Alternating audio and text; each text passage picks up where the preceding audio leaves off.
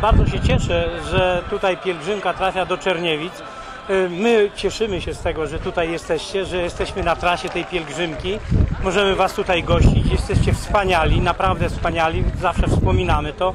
No, Czerniewice myślę, że mają okazję gościć, jednocześnie mają możliwości, ponieważ mamy piękny park. Zwykle pielgrzymka mm, goszczona jest w parku. W tym roku zrobiliśmy tutaj na terenie szkoły, blisko szkoły, przy obiektach sportowych. E, Widzę, że wszyscy się cieszą.